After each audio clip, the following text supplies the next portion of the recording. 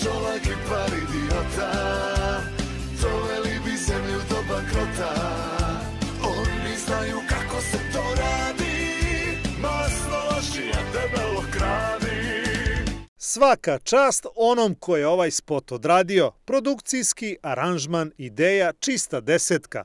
Tako narodni poslanik SNS-a Vladimir Đukanović ocenjuje video u kom se redom vređaju svi oni koji kritikuju vladajuću stranku čiji je član.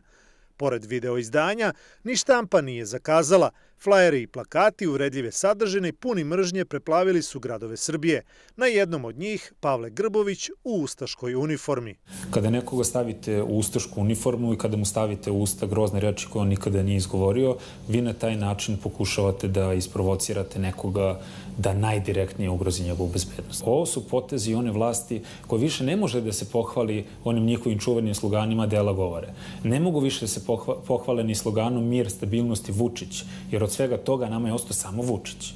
Pored Grbovića u uniformi Maksa Luburića, Miloš Jovanović na plakatima je sa albanskom kapom na glavi, a društvo mu pravi Aljbin Kurti – Ipak Grbović poručuje da uprkos targetiranju i saznanju da institucije neće reagovati, opozicija neće odustati od borbe protiv sprege vlasti i kriminala. Svakako da nas čeka vruća i mučna jesen i da će takvih uvreda biti još više i više. Vlast nastoji da nikad ne bude u defanzivi, nego da uvek prosto na optužbe koji su realne odgovara uvredama, vređanjima, kontraoptužbama. To nažalost, dakle, iznošenje ovakih uvreda ima efekta. To je manir radikala iz 90. godina koji neće izaći iz mode e, dok je Srpska napredna stranka u igri. To se neće promeniti, to je deo e, političke kulture koja je e, pogubna za ovo naše srpsko društvo. Šta je onda računica onih koji vode prljavu kampanju od izbora do izbora? Oštrica ide e, ponovo na Đilasa, oštrica ide i na Miki Aleksića, jer oni pojedinačno, a to smo i mi e, videli u istraživanjima, najbolje stoje kada je reč o opoziciji i e, obično u ovakvim prljavim kampanjama ta oštrica ide na one koji imaju e, najveći rejting.